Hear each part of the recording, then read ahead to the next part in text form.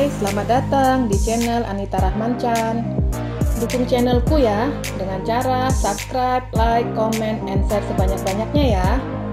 Satu lagi, bunyikan loncengnya agar kalian dapat update terbaru dari novelku. Terima kasih. Hope episode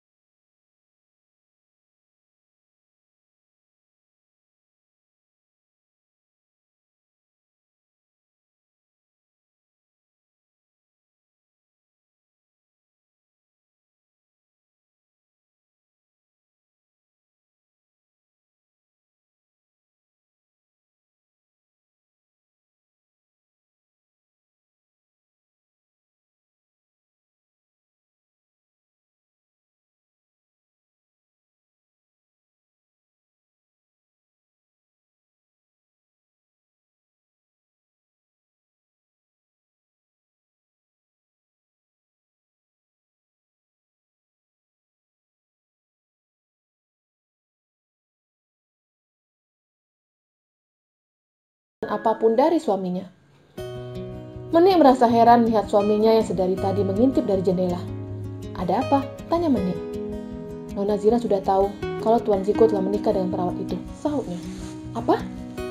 Bagaimana Nona Zira bisa tahu? Tanya Menik penasaran.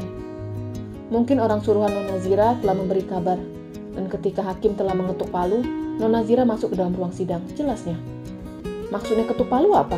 Tanya Menik lupa.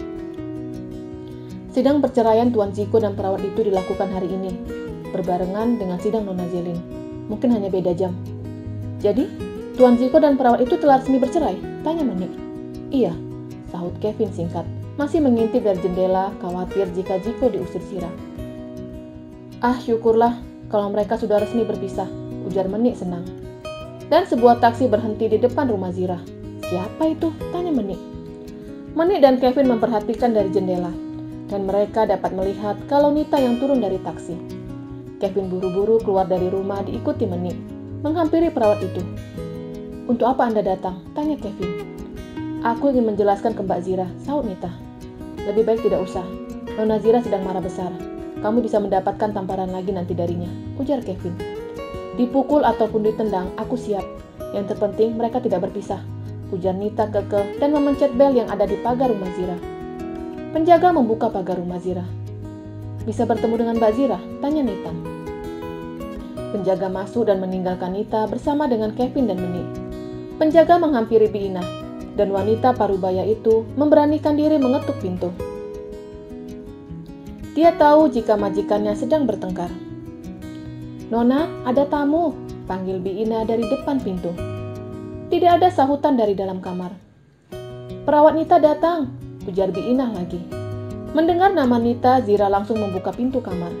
Dia mengusap air matanya dan meminta Biina memanggil wanita itu. Biina menyampaikan ke penjaga, dan penjaga mempersilahkan Nita masuk, diikuti Kevin dan Menik. Zira keluar dari kamarnya diikuti Ziko. Untuk apa kamu ke sini? Zira menekan intonasi bicaranya. Mbak, akan aku jelaskan. Pernikahan kami hanya ada di kertas, dan pernikahan kami tidak seperti pernikahan pada umumnya. Jelas Nita. Tidak perlu menjelaskan apa pun. Aku akan tetap menggugat Ziko, sahut Zira tegas. Sayang, jangan, ujar Ziko. Zira menatap suaminya dan perawat Nita. Keluarlah kalian dari sini. Tidak aku izinkan kalian menginjakkan kaki di rumahku, usir Zira marah. Sayang, aku mohon, maafkan kesalahan yang telah aku perbuat, ujar Ziko memohon dengan berada di bawah kaki istrinya. Zira menghindar dengan cara mundur, dan Nita ikut bersimpu di kaki Zira. Aku adalah penyebab semuanya. Jangan salahkan Ziko. Dia sangat mencintai Mbak Zira. Jangan pernah menggugat Ziko hanya karena aku, ujar Nita memohon. Siapa kamu? Zira menuding Nita. Kamu tidak berhak mengaturku, ujar Zira. Nita berdiri dan berhadapan dengan Zira. Aku hanya seorang perawat yang terjebak dalam pernikahan yang tidak kami inginkan. Dan aku senang pernikahan tidak jelas ini telah berakhir. Dan jangan akhiri pernikahan kalian yang sesungguhnya, sahut Nita sembari mengatupkan tangannya. Keluar! Usir Zira. Nita menganggukkan kepalanya dan berhenti di depan Ziko. Maafkan aku, ujar Nita sembari mengatupkan kedua tangannya dan berlalu. Zira menatap semua yang ada di depannya. Keluar kalian, usir Zira. Sayang, aku mohon. Ziko memeluk istrinya. Dan Zira langsung memukul suaminya dengan sangat keras. Keluar atau tulang mukan patah, ancam Zira. Kevin langsung mendekati Ziko. Tuan, ayo, ajak Kevin. Ziko menggelengkan kepalanya. Nona Zira sedang marah besar. Percuma jika Tuan memintanya memaafkan Tuan. Ketika emosinya mereda, Tuan bisa kembali ke sini. Bisik Kevin yang mengerti akan sifat Zira. Akhirnya Ziko pergi meninggalkan rumahnya bersama dengan Kevin dan Menik. Tuan bisa tinggal di rumah saya, ujar Kevin.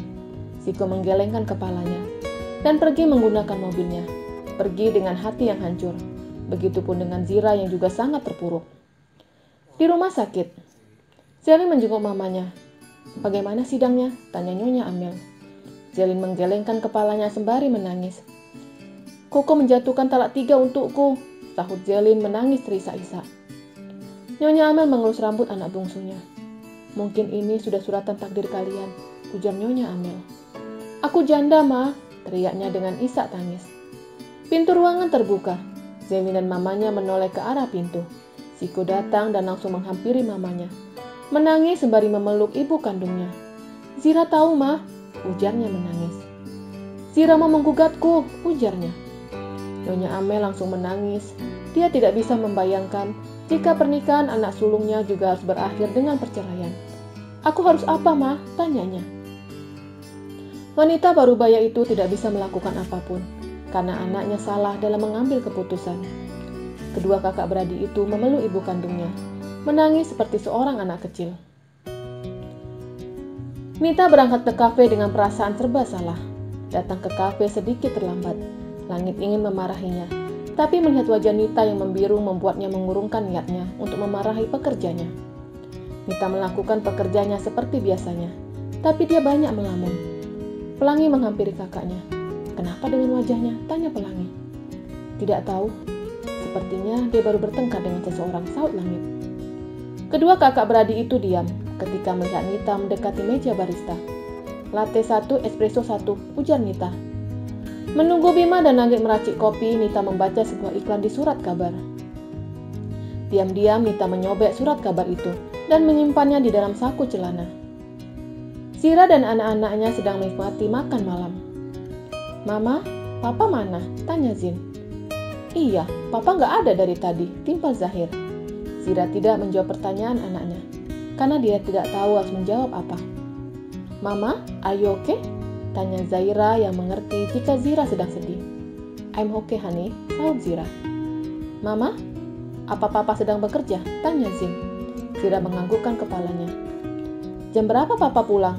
Tanya Zin lagi. Zira hanya menggelengkan kepalanya. Ayo, habiskan makanannya. Setelah itu tidur, ujar Zira mengalihkan pembicaraan. Setelah anak-anaknya selesai makan, Zira melakukan rutinitas untuk membaca buku pengantar tidur untuk anak-anaknya. Selesai membaca buku, Zira masuk dalam kamarnya. Mengingat semua kejadian tadi siang membuatnya menangis kembali. Aku harus melakukan apa? Gumamnya bingung. Aku mencintainya, tapi perbuatannya membuatku membencinya. Gumam Zira menangis.